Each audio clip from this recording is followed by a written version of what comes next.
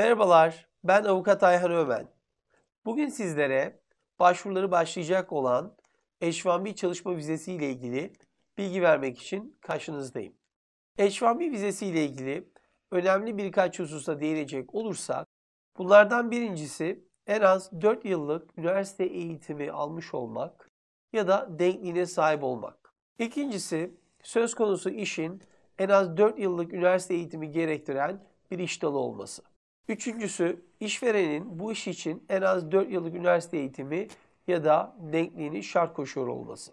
Son olarak da bu iş dalı için üniversite eğitimi